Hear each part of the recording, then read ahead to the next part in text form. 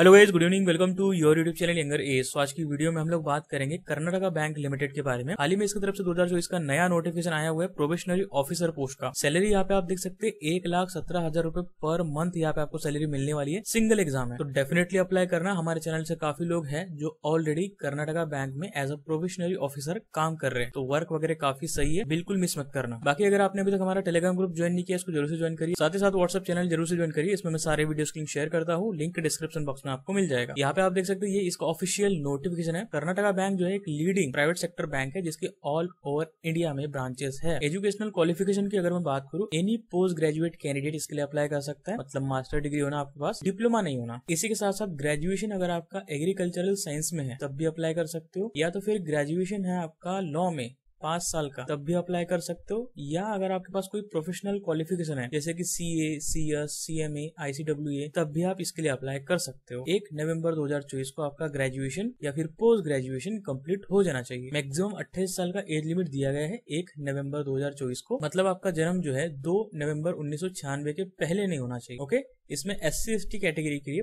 पाँच साल का एज रिलैक्सेशन दिया गया है। एप्लीकेशन फ़ी की अगर मैं बात करूँ जनरल ओबीसी ईडब्ल्यू कैटेगरी के लिए आठ सौ रूपए प्लस टैक्सेस है। एस सी कैटेगरी के लिए सात सौ रूपए प्लस टैक्सेस है। सैलरी जैसे कि मैंने आपको बताया, एक लाख सत्रह हज़ार रूपए पर मंथ यहाँ पे आपको मिलने वाला है मेट्रो सेंटर पे। सिलेक्शन प्रोसेस की अगर मैं बात करूँ सिंगल एग्ज़ाम होने वाला है, जो की बाईस दिसंबर दो हज़ार चौबीस को होगा। बेंगलुरु, चेन्नई, मुंबई न्यू दिल्ली हैदराबाद, कोलकाता, पुणे मैंगलुरु धारवाड़, हुबली, मैसूरू, शिवमोगा और कलाबुर्गी। यहाँ पे आपका एग्जामिशन सेंटर रहेगा और जो इंटरव्यू है, वो आपका बैंक के हेड ऑफ़िस जो कि मैंगलुरु में है, या तो फिर बैंक कहीं पे भी डिसाइड कर सकता है, वहाँ पे आपका इंटरव्यू होगा। तो एग्ज़ाम के सेंटर इतने ही है और इंटरव्यू आपका मैंगलुरु या फिर कोई और सेंटर पे होगा। सिलेक्शन के बाद जो है आपका इंडक्शन ट्रेनिंग प्रोग्राम होगा मतलब आपकी ट्रेनिंग होगी मैंगलुरु में। जैसे आप ये ट्रेनिंग कंप्लीट करते हो, फिर आपको जो है ब्रांचेस में पोस्टेड कर दिया जाएगा। इसमें आपका एक साल का प्रोबेशन पीरियड रहेगा। सर्विस बॉन्ड भी है मिनिमम तीन साल का सर्विस बॉन्ड है। अगर आप ब्रेक करते हो तो आपको पे करना होगा। अमाउंट आपको अपॉइंटमेंट लेटर पे देखने को मिल जाएगा। इंपॉर्टेंट डेट्स की अगर मैं बात करूँ, तीस नवंबर 2024 से आप इसके लिए अप्लाई कर सकते हो। 10 दिसंबर 2024 इसको अप्लाई करने का लास्ट डेट है। बाईस दिसंबर 2024 को आपका सिंगल एग्ज़ाम है। एग्जामिनेशन पैटर्न यहाँ पे आप देख सकते हो। आईबीपीएस पैटर्न फॉलो हो रहा है।